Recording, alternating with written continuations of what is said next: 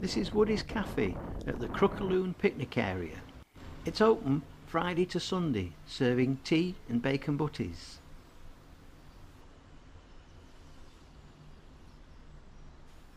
The Crook o' Lune lies within the Forest of Bowland and the Lune Millennium Park, not to be confused with the Crook o' Lune near Lowgill in Cumbria, on a similar bend of the same river.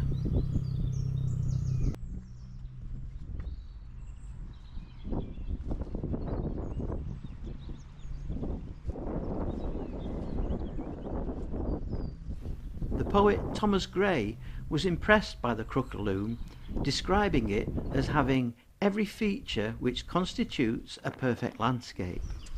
I'm still thinking about that one.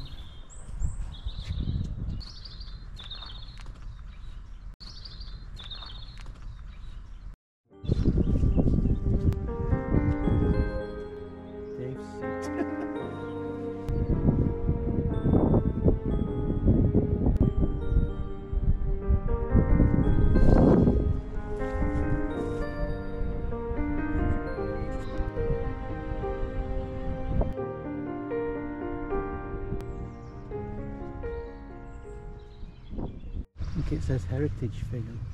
Have a, have a quick look.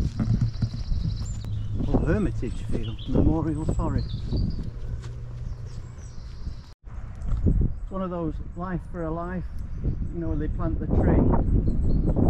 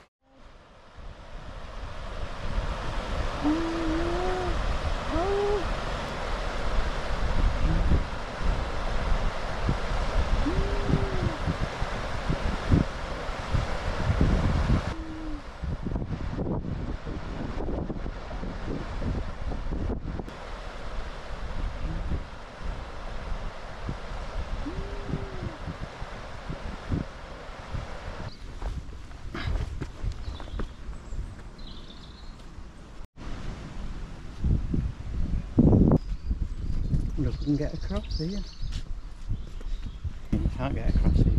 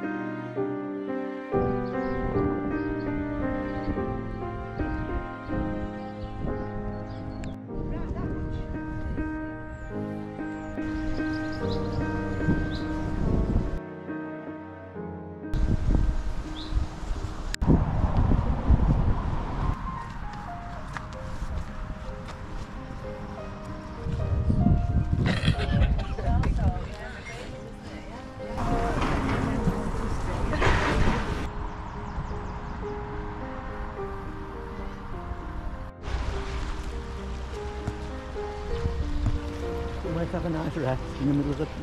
Oh, yeah. Uh, where there's water.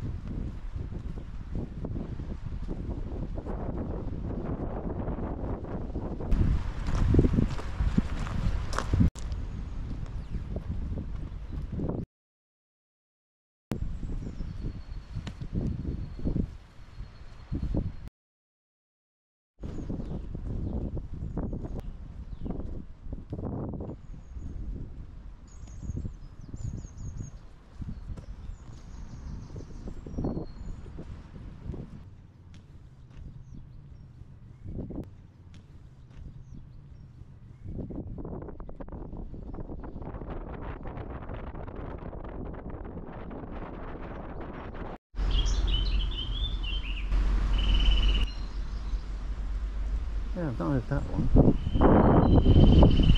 Not bad. Oh, I'll have to look that one up. Go on, do it again. No, you're not going to now, are you?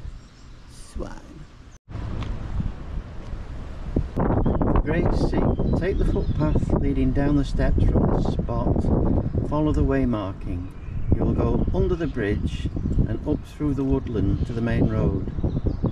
Come the spring this part of the park is rich in wildflowers like ramsons and bluebells. Cross carefully and you will find the entrance to the footpath to the ancient viewpoint of Gray's Seat. That'll. So I think we'll go down here.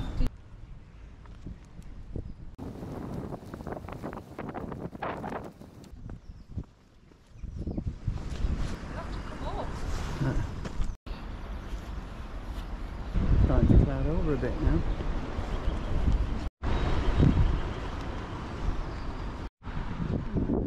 We're at the road.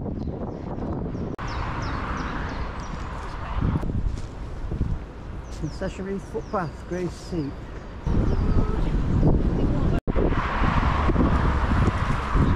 Don't think that's Gray's Seat. Does it? Now that's moss, isn't it? Isn't it? Isn't it great?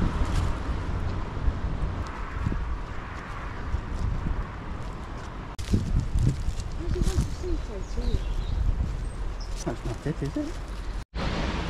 That's not Gray's Seat. Where's the viewpoint? It's all overgrown.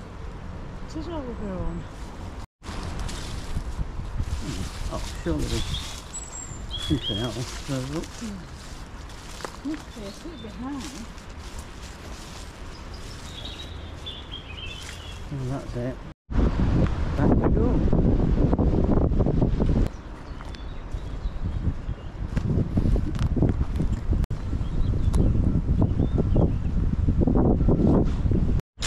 I think some of these roots are holding this embankment together, aren't they?